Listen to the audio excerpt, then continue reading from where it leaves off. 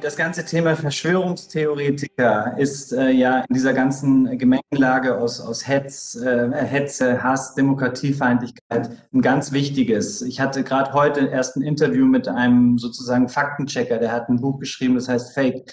Ähm, der sagt, wenn die Erstmeldung raus ist, wenn praktisch ein, ein Bild mit einer mit einem Zitat eines Politikers raus ist und die ist falsch, dann wird die aber zuerst gesehen. Und meinen Sie, man kommt dann noch mit Gegendarstellungen weit? Also es ist ja ungefähr so wie, wie eine Berichtigung in der Bildzeitung, die ist dann irgendwo auf Seite 3 oder Seite 17.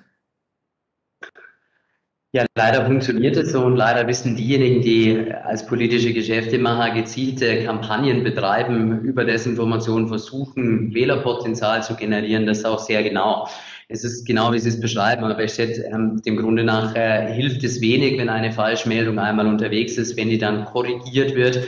Meistens äh, ist man groß mit Bild mit der Falschmeldung unterwegs und ist nicht nur in der Bild und dann auf Seite 3 in einer kleinen Randspalte am nächsten Tag korrigiert und bis zum nächsten Tag haben 24 Stunden lang äh, alle Menschen im Lande schon trefflich drüber diskutiert und nichts ist mehr Schnee von gestern als die News vom Vortag, die dann wieder korrigiert werden soll was ja auch dazu führt, dass man im politischen Geschäft schon eher, wenn es mal Falschmeldungen gab, die versehentlich passiert sind, über Kompensationen arbeitet, als diesen tatsächlich falschen Artikel richtig zu stellen. Also da zeigt sich einfach relativ deutlich, wie sozusagen Medienlogik funktioniert. Auch das, glaube ich, ist ein großes Problem. Ich würde aber noch mal anschließen wollen an das, was Indra Bayermüller und, und Frau Vallon sagten.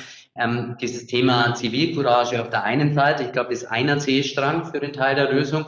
Auf der anderen Seite ist alles, was der Rechtsstaat leisten kann. Und da kann man jetzt bei Bayern ja sagen, dass wir die Dinge da weitestgehend, das werden Sie bestätigen, Frau Ballon, auch im bundesweiten Vergleich ausgeschöpft haben. Wir haben als Bayern-Koalition aus Freien Wählern und CSU ein großes Antragspaket zum Schutze der politischen Verantwortungsträger, insbesondere der Ehrenamtlichen in der Kommunalpolitik in den Landtag eingebracht. Wir haben ein Oberstaatsanwalt bei der Generalstaatsanwaltschaft München, einen als Hate Speech Beauftragten, der hat 22 in den dezentralen Generalstaatsanwaltschaften Dezernenten, die da zuständig sind und alle Studien bundesweit sagen, wir sind die Nummer eins in der Bekämpfung dieser Themen in Bayern und trotzdem ist die Situation so, wie wir sie jetzt in dieser Diskussionsrunde beschrieben haben. Und das zeigt für mich eindrucksvoll, dass die legislative Baustelle, die rechtsstaatliche Baustelle eben nur ein Teil der Lösung sein kann und dass wir darüber hinaus ganz dringend das Thema Zivilcourage brauchen, ganz dringend das Bewusstsein brauchen, dass jeder, der am Stammtisch aufsteht, wenn Unsinn erzählt wird und sagt, so geht es nicht und so stimmt es nicht,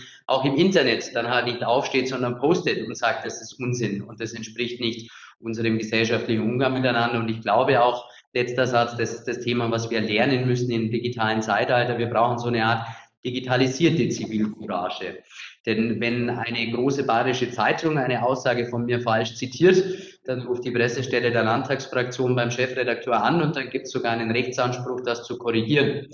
Mir ist nicht klar, wen ich bei Facebook, äh, bei Instagram oder bei Twitter anrufen könnte, um den gleichen Rechtsanspruch geltend zu machen. Da gibt es jetzt zarte Pflänzchen, Hate-Ads, tolle Arbeit, was Frau Ballon und ihre Mitstreiter da machen. Aber da, glaube ich, haben wir noch richtig Luft nach oben, so dass man sich auch wehren kann, wenn einem Unrecht geschieht, was in meinem Gefühl im Moment nicht der Fall ist. Und man muss immer sehen, die sozialen Medien haben zwischenzeitlich teilweise eine Reichweite, die größer ist als die von allen bayerischen Zeitungen zusammen für die Landespolitik gesprochen. Und dann bringt es mir wenig, wenn ich das mit Medien klären kann und im Internet Unsinn unterwegs ist. Und deshalb brauchen wir da dringend auch institutionalisierte Mechanismen. Ich meine, wir sind zwar jetzt alle kleine Hobby-Virologen geworden in einem Jahr, aber äh, wir können auch nicht alles wissen, was die Wissenschaftlerinnen und Wissenschaftler da ähm, ähm, untersuchen und machen und sagen.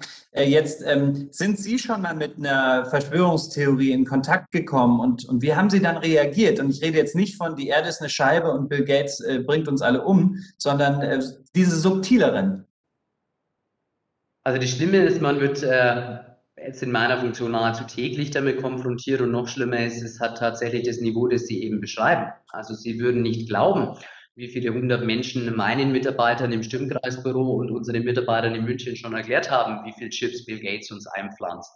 Ähm, ist also tatsächlich äh, so weit auch weg, dass man sich schon im Sinne von Don't, don't Feed the Troll überlegen muss, ob es überhaupt Sinn macht, das in irgendeiner Art und Weise noch rational äh, zu korrigieren. Ich glaube, ja, man muss das tun, man darf nicht resignieren, aber das macht schwieriger und noch schwieriger wird es, wenn es subtiler wird, wenn die Dinge also verfangen können im Sinne des, das wird man doch noch sagen dürfen, was Sie vorhin mal ansprachen, denn dann erreicht es auch eine gesellschaftliche Mitte. Und ich glaube, das ist auch ein großes Problem, dass wir aufgrund unserer Bemühungen um Abgrenzung zu Spinnern, zu Corona-Leugnern, zu Rechtsaußen, zu all denen, die sich da auf diesen Demos zusammengefunden haben, von 5G-Fantasten über Antisemiten bis zu Rechtsradikalen, dass wir in unseren Bemühungen um Abgrenzung in denen gegenüber ein Stück weit auch den Dialog und den Gesprächsfaden zu denen verloren haben, mit denen wir dringend reden mussten. Also ich mache ein Beispiel. Ich war bei Gemeinsam Zukunft als Redner auf äh, der Wiesen in München Zusammenschluss von Mittelständlern, äh, die Hot Volley des bayerischen Mittelstands, die sich da zusammengeschlossen hat. Da gehe ich als parlamentarischer Geschäftsführer einer Regierungsfraktion hin und muss mich erst mal zwei Wochen rechtfertigen, warum ich da überhaupt hingehe und den Menschen erklären, dass das keine Corona-Leugner sind. Das macht es uns natürlich auch schwierig. Also wir dürfen nicht äh, die Lauten mit den vielen verwechseln und mit den vielen nicht mehr reden, weil wir Angst haben, irgendwie mit den Lauten dadurch äh, in einen Topf geworfen zu werden. Und äh, ich glaube, auch das ist was, was es an der Stelle nicht unbedingt leichter macht. Und es darf man ja auch nicht vergessen, dass diejenigen, die die äh, Regierung kritisieren oder auch einzelne Maßnahmen kritisieren, auch ganz oft dann Opfer werden von äh, Hasskommentaren. Das ist äh, eben auch äh, der Umkehrschluss. Es ist nicht immer nur ähm, gegen, ähm, gegen die äh, Regierung.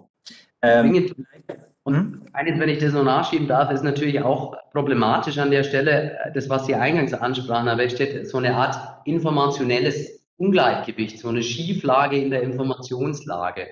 Früher hatten wir irgendwie 80 Millionen Bundestrainer in Deutschland. Das wird jetzt bei der EM hoffentlich bald wieder so sein und hoffentlich sehr lange bis zum Finale. Aber im Moment haben wir 80 Millionen Virologen in diesem Land. Und sie müssen den Menschen ja trotzdem erklären, wie sie politisch entscheiden. Ich darf in der Corona-Taskforce des Landtags sitzen. Wir werden beraten von denjenigen, die sich seit Jahrzehnten mit diesem Thema befassen. Und natürlich haben sie dann als politischer Entscheider in dieser Beratungssituation einen anderen Wissensstand so funktioniert ja auch unser politisches System. Wir geben Menschen Mandate, die können rund um die Uhr sich perfekt informieren, um dann die bestmögliche Entscheidung zu treffen. Äh, dann tun sie das, haben alle Spitzenvirologen des Landes gehört, machen eine Entscheidung daraus und anschließend erklärt ihnen aber Herr Müller und Frau Mayer, warum das alles Unsinn ist, äh, weil sie gestern im Internet war und gelesen hat, dass alles ganz anders sich verhält. Und dieses äh, informationelle Gleichgewicht wiederherzustellen, ohne dass man dabei altklug wirkt und ohne dass man besserwisserisch wirkt und ohne dass man die Menschen dabei verschreckt, das ist wahnsinnig schwierig. Also ich bin zwischenzeitlich dazu übergegangen, einfach zu sagen, ja, ich weiß es besser, Gott sei Dank, weil es mein Job ist. Würde ich es nach einem Jahr Corona nicht besser wissen, dann hätte ich alles falsch gemacht die letzten 365 Tage. Und wenn ich es nicht besser wissen wüsste, nach wöchentlicher Beratung aller Spitzenvirologen dieses Landes, dann müsste ich sofort zurücktreten. Also ja, ich weiß es besser, ja, und deshalb muss ich es aber auch vermitteln, wie die Dinge liegen. Und das ist bei so einem komplexen medizinischen Phänomen ganz, ganz schwierig, ohne dann als Besserwisser, altklug, äh, noch mehr gesellschaftliche Spaltung zu generieren. Ähm, jetzt würde ich noch äh, vielleicht äh, einmal äh, Frau Bayer-Müller äh, fragen, ähm, ob Sie diese Resignation auch schon festgestellt haben, dass, dass man einfach sagt, ich kann jetzt nicht, ich beantworte das jetzt einfach nicht mehr, oder? Ähm, also das Gefühl äh, tritt nach äh, ungefähr 15 Monaten dann schon mal auf, das muss man zugeben. Und ich glaube aber, genau das äh, darf nicht passieren. Das heißt, äh, die Idee ist schon, und ähm, das ist auch der Anspruch, den, den wir haben, ähm, als Dienstleister für die Menschen hier vor Ort zu sein und die Fragen zu beantworten, die kommen und auch die, sage jetzt mal, Vorurteile, die wir alle haben, ja, ähm, aufzugreifen und damit zu arbeiten. Ich glaube, das ist das Wichtige, das ist, ähm, das ist die Arbeit, die wir haben und eben auch genau die Entscheidungen, die in München oder auch in Berlin fallen, dann tatsächlich auch zu erklären. Das ist die Aufgabe, die wir hier vor Ort haben. Das ist nicht immer ganz einfach. Ähm, und dennoch ist es äh, der Anspruch, den wir haben, mit den Menschen hier ins Gespräch zu gehen. Und ich sage jetzt mal, die gesellschaftliche Mitte da zu erreichen und da im Diskurs zu bleiben, das ist spannend und das gelingt auch. Und und natürlich ist man dann vielleicht manchmal ein bisschen lehrerhaft äh, an der einen oder anderen Stelle. Das äh, muss man halt dann auch aushalten. Ähm, aber ich glaube, es ist äh, wichtig und richtig, mit den Menschen im Gespräch zu bleiben, die, ähm, die noch offen sind und die die Möglichkeit eben auch noch bieten, weil sie kommen und weil sie Fragen haben oder weil sie sagen, warum muss ich jetzt mein Kind zweimal die Woche ähm, testen lassen? Warum muss ich dieses und jenes tun? Und warum gibt es jetzt diese Ausgangssperre? Ähm, das ist doch alles Quatsch. Ähm, aber in dem Moment, wo jemand kommt und mit einem reden will und einen Kommentar ähm, reinschreibt oder eine E-Mail schreibt oder einen Brief, ja, da sind wir gefragt und das ist unsere Aufgabe. Mhm. Das bringt sie dann eben auch nah an den Menschen und, und vermittelt dann eben auch Vertrauen.